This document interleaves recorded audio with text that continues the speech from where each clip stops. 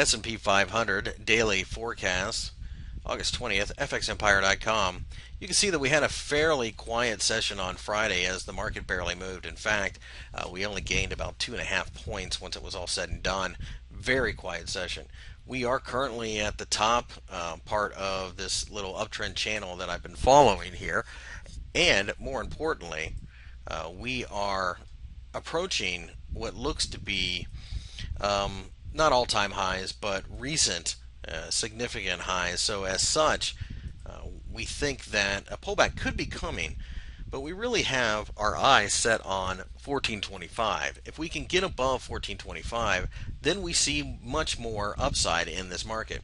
As far as selling this market is concerned, we just don't see the, the wisdom in that right now as it appears that the Federal Reserve is going to ease and if they do, that will give the markets the sugar high they look for to gain, at least in the short term.